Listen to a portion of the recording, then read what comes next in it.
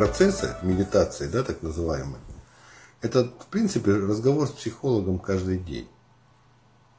Когда вы сами в себе, сами к себе идете в свою жизнь. Каждый день в каком-то вопросе, каждый день в каких-то осознаваниях. Вот на август месяц очень много, ну правда очень много нужно будет сделать, да, то есть то, что вот я говорил, это вот денежный блок полностью по всем, ну, по основным хотя бы, даже не по всем, наверное, по основным. Мы его будем дополнять, потому что их на самом деле намного больше. Но дополнять будем чуть попозже, наверное, сентябрь-октябрь. Но на сегодняшний момент выйдет в денежном блоке на осознавание. Это вот, я обещал, да, жадину завистника, агрессор – судья, потому что ну, все осуждения да, самого себя, это запрещение себе жить богатым, быть богатым, это обвинение самого себя, то есть посадить себя самого в тюрьму. Добрый вечер. Почему жалко тратить на себя, а на близких трачу с удовольствием? Меня зовут Евгения. Благодарю. Евгения, да, это же вот как раз вот судья, это уже третий процесс будет – то есть, смотрите, какой момент. Мы говорили об этом, очень часто говорили, очень много говорили. Давайте я еще раз расскажу, да. То есть, вот мы привыкли жить так, так, да, что любовь, само слово любовь, оно дает возможность, дает возможность вам любить самого себя. Но мы все привыкли но мы людина Бога ведает, то есть это само слово, само слово о себе говорит, да, любовь. Но мы все привыкли проявление любви, проявление любви смотреть как похвалу. То есть если нас хвалят, нас любят. А если нас не хвалят, значит нам нужно стать очень хорошим для того, чтобы нас похвалили. Если у нас не получается быть очень хорошим, да, то мы начинаем, что нас не хвалят. Или мы очень хорошие, а нас все не хвалят, и не хвалят, и не хвалят. То что происходит? Человек начинает винить самого себя. А когда человек начинает винить самого себя, то происходит один удивительный момент. Он перестает сам жить. Ему нужно быть хорошим во всем, и даже в деньгах. Это та же самая возможность, чтобы вас похвалили. Поэтому на других, когда вы тратите, вы просто ждете от них похвалы. Это очень интересный момент. У меня вот девочка была, она писала, по-моему, даже, Ольга, да, когда она говорит, иду после тренинга и хотела закупить тортик. Увидела торт, который понравился мне, но он дорогой. Я не купила его, я купила тот, который понравился мужу. Мне, говорит, прямо осознание пришло, а что со мной происходит? Почему я запрещаю себе и постоянно хочу быть лучше. Хочу лучше казаться, чем я есть на самом деле. Но я же хочу этот торт. Почему я себе его запретила? Потому что себе жалко, для других не жалко. Потому что меня похвалят. И вот эта погоня за похвалой, она очень много забивает вот этих денежных блоков, ставит для того, чтобы вы пришли к самому себе. Потому что вы, деньги-то сами по себе, это просто энергия. Это просто обыкновенная энергия. И очень интересный такой аспект. Деньги приходят на ваше желание. Понимаете, да? А если вы тратите на других, желаний-то у вас своих нет. Они вам не нужны, потому что ваше единственное желание, чтобы вас похвалили – вот прям посмотрите в этом направлении. Я думаю, вы осознаете, вы увидите, как это часто происходит в вашей жизни. Просто если садиться, заходить в вопрос, то в этом вопросе вы всегда увидите, что с вами происходит. Да, про деньги, Алекс, мы обязательно поговорим сегодня. Мы будем говорить сегодня только о деньгах и только о жадине.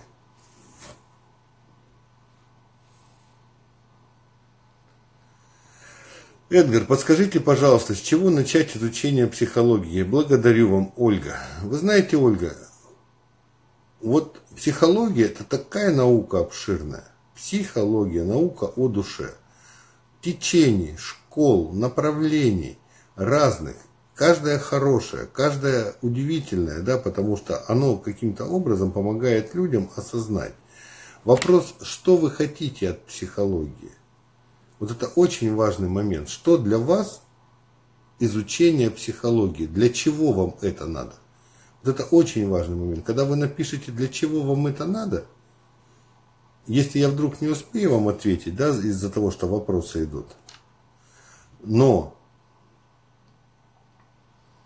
тогда напишите мне в директ. Вы меня извините, у нас просто два часа, и у меня только сейчас вот была консультация, консультация была такая, прям я еще немножко ну, возвращаюсь назад после этой консультации. Ребят, по психосоматике в директ. Если ни разу не делала медитации, у меня получится, если делать вашу медитацию. Благодарю. Меня зовут Аня. Аня, вот для этого, для этого есть две основные, два основных процесса. Это ясности и подлинности и благодарности. Но если вы ни разу не делали медитации, вот ни разу не делали, я вам рекомендую, есть единое поле сознания. Она стоит бешеных денег, 25 рублей. Вот возьмите ее, она пятиминутка. По крайней мере, недельку-две ее поделайте. Просто поделайте одну ее. Да, то есть осознайте, что для вас это медитация, какие состояния, какие ощущения. Потом делать по нарастающей, потому что когда человек не делал консультации, медитации, да, и сразу идет просто вот в медитации, то, естественно, очень много больше вопросов, чем ответов он получает. Единственный нюанс, что я могу вам посоветовать, да, ну, как даже не посоветовать, потому что психологи советов не дают, да, а вот ну, давайте поразмышляем над этим. Вот когда мы идем в вебинары, этот вебинар, ну, то есть я вместе с вами нахожусь. Вот вебинар, я думаю, вы можете сходить. По крайней мере, там будет глубокий процесс и посмотреть. Вы знаете, когда вот я делал медитацию в Крокус Сити да, вот процесс. Ну, то есть я называю это процессами. Для меня это как-то больше. То есть здесь немножко к медитации то, что я делаю, относится ну, только то, что ты с закрытыми глазами. Вот 5 тысяч человек в Крокус Сити Холле, можете себе представить, да, 18 тысяч онлайн прослушиваний, то есть одновременно шло вместе, то есть 18 тысяч билетов было продано на онлайн прослушивание. Ну давайте представим, что кто-то слушал один, как мне сегодня девушка написала, а кто-то слушал целыми семьями. И вот тот процесс, который люди прошли, а это 23 тысячи человек, ни один не остался равнодушным. И там наверняка были тоже люди, которые ну, только-только начинали делать медитации. Некоторые подходили и говорят, мы даже не знали, что это такое медитировать, когда я книжки подписывал. Какая правильная любовь между мужчиной и женщиной? Ведь бывают ссоры. Теперь я к нему более осторожно, что ли. Благодарю вам. Давайте по порядку. Что такое любовь? Само слово, само мыслеформа любви – это людина Бога ведает.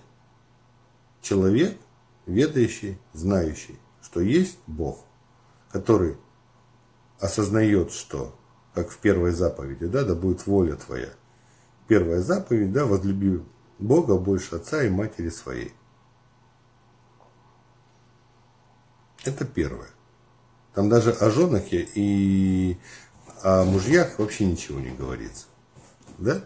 А потом возлюби ближнего своего, как самого себя, и возрадуйся.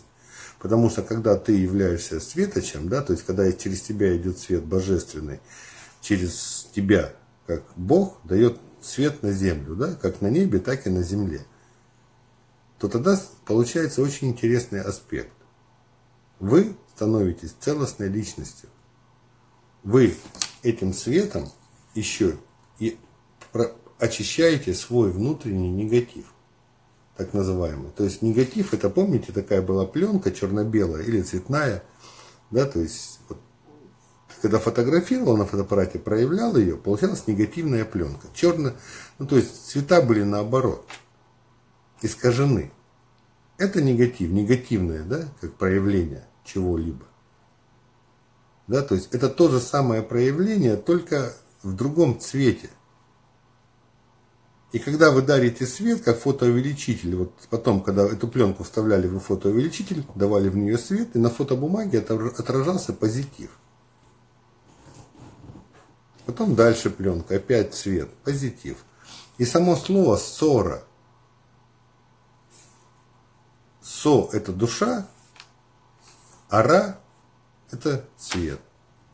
И как раз вот ссора дает вам возможность перевести негатив в позитив. Если вы в этот момент осознаете, что происходит с вами. Потому что в любой ссоре выходит прежде всего ваш непринятый какой-то образ, какая-то роль, какая-то личность, личина, там, неважно, там, неважно что это, да, маска какая-то. Ну, интерпретации этого много, которая на сегодняшний день обижена. И эта обиженная роль дает, встречается с другой обиженной ролью, потому что в этот момент вы как два резонатора. И если ваша обиженная роль срезонировала с той обиженной ролью, то они между собой – выясняет отношения. И все. Вы к этому никакого отношения не имеете. Просто вы, вы в данный момент делитесь болями. Вы своей, он своей. В этот момент этот человек, который напротив вас, ваш бесплатный психотерапевт. Чем отличается выживание от жизни? Тем, что в выживании вы начинаете винить кого-то другого, а в жизни вы берете просто ответственность за себя и начинаете смотреть, что во мне травмировано. Как это сделать? Говорю неоднократно. Дайте определение тому человеку, на которого вы сейчас злитесь. Просто дайте, кто он, балбес, дебил, идиот, слабодушный, малодушный, трус, гад, сволочь. Какая разница? Дайте просто ему определение. А потом посмотрите, что кто может увидеть этого человека в вас, ну, дебила, допустим, кто может увидеть? Ваш дебил.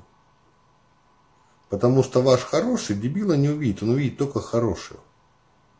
Любая роль видит только свое отражение. И если этот человек вас раздражает, то ваш дебил просто обижен. Кто-то вас очень сильно обижал этим словом, и где-то там есть ваша травма. И пролив свет на эту травму, приняв самого себя, приняв своего дебила, этот дебил автоматически утихает. Как это происходит, как-то божественно. И само слово «ссора» – это свет души. Когда ты вытаскиваешь этот блок из себя, туда попадает свет. И этот свет растворяет в житие все, что угодно. Ну, по крайней мере, дебила, если ну, вы видите в нем дебила, да, и, при, и примете своего, то дебила уже точно не будет. Это даже происходит удивительно, это даже происходит в режиме онлайн, когда ты, ну, бывает уже люди, которые вот проходят мои консультации, тренинги, там, медитациями занимаются, да, говорит, у меня, говорит, так, ну, опыты вот они пишут, делятся в директ, у меня по 200, по 300 сообщений в день идет. Это удивительные просто моменты, удивительные аспекты происходят. Когда человек в режиме онлайн, вот он разговаривает с кем-то, находит свою травму, сам себя принимает, вот это главная задача, стать, это и есть стать психологом для самого себя, осознавая, что вас ничего не может травмировать. А если вас что-то травмирует, о, вот это да, какое счастье. И ты разговариваешь с этим человеком или слушая его, да, начинаешь просто параллельно, ваш наблюдатель параллельно ищет ту травму, которая происходила с вами. Как это сделать? Ну, это всего лишь опыт. Это, помните, мы вчера говорили, да, когда мозг рассоед, он сразу мгновенно начинает искать, что происходит в данный момент. И он не выпускает эту агрессию, а этот ресурс, этим ресурсом заходит в глубину себя и вытаскивает эту ситуацию. И пропускает через свет. Ну, представьте, вот сито, через которое отсюда идет свет. И оно все такое, вот эти дырочки, да, все забиты вашими вот этими негативами, так называемыми. И как только вы находите, вытащили его, да, туда свет пошел. И вы, вот ваш мозг, это и есть вот это вот сито. Да? Главная задача повытаскивать, чтобы просто шел свет. И когда идет свет, этот свет – это та самая психическая энергия, которая позволяет вам решать ваши желания. И тогда приходят деньги, тогда приходит все, что угодно. Я как-то проснулся, что-то мне было скучно, и я нарисовал вот такую картинку. Вот здесь написано, кто не видит, Крокус Сити Холл. Это вот. Это было в, ноябре месяце. И вот я рассказывал об эту историю в Крокус Сити Холле. рассказывал ее в Крокус Сити Холле, что когда Александра позвонила, говорит, вот я не знаю, делать крокус, не делать крокус, потому что народу много, там прочее, прочее, прочее. Я говорю, Саша, он уже сделан. Он в ноябре был решен. То есть в ноябре я уже стоял на сцене Крокус Сити Холла и делал процесс. Потому что этот процесс, он на самом деле очень важный, докажу на зло. И он... Представляете, что произошло, когда этот процесс был сделан? 23 тысячи человек одновременно отцепили от себя проклятие, докажу на зло. Одновременно. На всей территории на всем мира, даже не России, потому что там была и Америка, и Европа, и прочие онлайн-трансляции. Разные, в разных странах. Представляете, что произошло? Мне до сих пор радость переполняет, когда ну, вот, осознавать то, что 23 тысячи человек одновременно пришли и простили себя за то, что они положи, поставили себе, дали себе клятву доказать на зло. И пошли в состояние зла. То есть, потому что когда ты докажу на зло, да, ты переводишь мозг, приходит зло, ты попросил это сам. То есть помните, мы говорили, что каждое слово, сказанное вами, это молитва. Кто читал книгу, тот знает размышления дурака. И эта молитва создает пространство, пространство проживания. И когда это ворота эти закрываются, да, и человек переводит себя в другое, я чувствую желание чувствовать себя здоровым, любящим и любимым, это же счастье. Богатым, благодарным, успешным. И открывает новое пространство своего проживания. Это же счастье.